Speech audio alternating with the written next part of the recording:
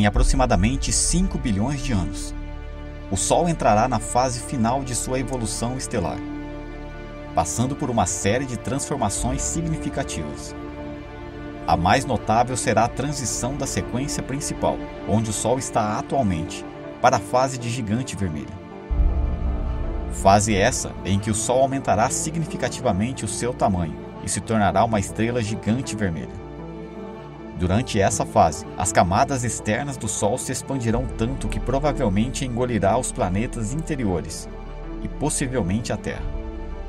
Consequentemente, afastando a zona habitável de nossa estrela para muito além do nosso planeta. Onde estaria essa nova zona habitável? Segundo as previsões científicas, a raça humana teria alguma alternativa dentro do sistema solar? É o que veremos agora nesse vídeo. Sejam bem-vindos ao canal Astroom, o seu lugar para a astronomia. Se você gosta de temas relacionados ao universo e após assistir esse conteúdo e gostar, considere inscrever-se aqui no canal caso não for um inscrito. A 150 milhões de quilômetros, o Sol é a principal fonte de calor e energia para nosso planeta Terra. A vida que conhecemos aqui seria impossível sem a constante emissão de luz e calor do nosso Sol. Porém, como qualquer outra estrela, o Sol seguirá o seu ciclo estelar, deixando para trás sua fase atual de sequência principal. Na fase atual, suas temperaturas e pressões extremas no núcleo permitem que ocorra a fusão nuclear do hidrogênio em hélio. Essa reação libera grandes quantidades de energia na forma de luz e calor, mantendo o equilíbrio entre a pressão interna e a força da gravidade que tenta colapsar a estrela sobre si mesmo. Entretanto, essa etapa não durará para sempre. Aos poucos, o hidrogênio no núcleo se esgotará e o Sol entrará em uma fase de extrema transformação. Conforme o hidrogênio se torna escasso, a pressão e a temperatura no núcleo não serão mais suficientes para manter a fusão contínua. Com isso, o Sol começará a se contrair devido à influência da gravidade comprimindo suas camadas internas, enquanto as camadas externas de nossa estrela começarão a expandir-se gradualmente e assim o Sol se transformará em uma gigante vermelha, uma estrela em sua terceira fase evolutiva, tornando-se várias vezes maior do que é atualmente, e expandindo para algo em torno de uma unidade astronômica, o que é a distância média atual entre a Terra e o Sol. Isso significa que o Sol envolverá gradualmente Mercúrio, Vênus e provavelmente a Terra. Nosso planeta, outrora um oásis de vida, não escapará dessas drásticas mudanças cósmicas. E com temperaturas crescentes, nossos oceanos serão vaporizados e a composição de nossa atmosfera será mudada drasticamente. À medida que o Sol evolui para uma gigante vermelha, as mudanças em sua zona habitável também serão drásticas. A zona habitável é a região ao redor de uma estrela, onde as condições são adequadas para a existência de água líquida em superfícies planetárias. No entanto, no caso do nosso Sol, essa zona habitável se estende para uma distância que permite que o nosso planeta Terra tenha temperaturas que permitam a presença de água líquida, um ingrediente crucial para a vida como a conhecemos. Porém, enquanto nossa estrela infla, suas camadas externas se expandirão e a zona habitável será empurrada para mais longe do Sol. Planetas que antes estavam nessa zona serão fulminados pelas camadas externas da gigante vermelha, tornando-se inóspitos para qualquer forma de vida como conhecemos. No entanto, a história não termina aí. A evolução estelar não é um evento instantâneo é um processo que ocorre ao longo de milhões de anos.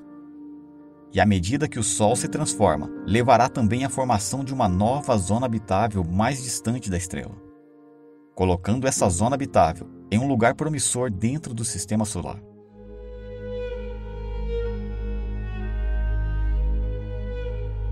Segundo projeções, quando o Sol expandir, sua zona habitável estará mais concentrada nos gigantes gasosos Júpiter e Saturno bem como suas luas. Entretanto, o Sol não salta apenas da sequência principal para a fase gigante vermelha. Durante o processo evolutivo do Sol, Júpiter permaneceria na zona habitável por cerca de 200 a 370 milhões de anos. E o mesmo com Saturno. Isso implica que as grandes luas geladas de Júpiter e Saturno têm uma segunda oportunidade. As quatro luas galileanas de Júpiter são aproximadamente do tamanho da nossa Lua, até maiores, com Ganímedes sendo mais massiva que o planeta Mercúrio, e Titã e Saturno de tamanho semelhante. Todas essas luas possuem uma mistura de ferro, rocha e gelo de água. Io é o objeto mais vulcânico de nosso sistema solar, contendo pouca água. Entretanto, acredita-se que todas as outras grandes luas sejam ricas em água, e várias delas até possuem oceanos globais sob camadas de gelo. À medida que aquecem, seus oceanos provavelmente derreteriam, transformando-as em mini-mundos oceânicos. Essas luas teriam uma quantidade abundante de água líquida e poderiam ser potencialmente habitáveis. É claro que suas atmosferas gradualmente escapariam para o espaço devido à sua baixa gravidade. Mas esse processo provavelmente levaria tanto tempo quanto as poucas centenas de milhões de anos que elas permaneceriam na zona habitável do gigante Sol. Embora o aumento da temperatura nesses mundos resultasse em um efeito de descongelamento, a relativa baixa massa das luas significaria que elas teriam menos probabilidade de manter uma atmosfera substancial, o suficiente para sustentar o fluxo de água.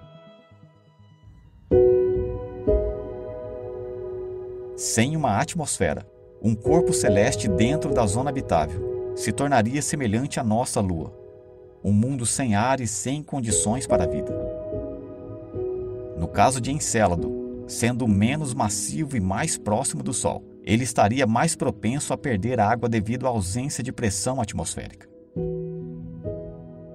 Contudo, Titã, que já possui uma atmosfera substancial e consideravelmente mais massa, teria uma probabilidade maior de sucesso, pois o satélite lembra uma versão mais jovem da Terra. Titã poderia muito bem se tornar o ponto ideal no nosso sistema solar. Embora gases mais leves, como hidrogênio e hélio, inevitavelmente escapariam, é improvável que Titã perdesse sua atmosfera por completo, especialmente os gases mais pesados, como o nitrogênio e o oxigênio. Com a pressão atmosférica apropriada e a energia proveniente de um Sol evoluído, Titã poderia assemelhar-se a uma versão mais quente e úmida de Marte, podendo permanecer habitável por cerca de 200 milhões de anos. E somente no estágio final dessa fase ele estaria exposto a níveis nocivos de radiação. Vale destacar aqui que as projeções científicas para nosso cenário, de acordo com pesquisas em outras estrelas, não garantem que assim serão. E mesmo esses processos ocorrendo como previsto, levam muito tempo para sua transformação total. Teria a humanidade alguma chance nesse cenário caso cheguemos até essa fase? Qual a sua opinião? E se você gostou desse conteúdo, envie esse vídeo para um amigo que gosta de astronomia e ajude o canal com seu like. Meu muito obrigado e até a próxima.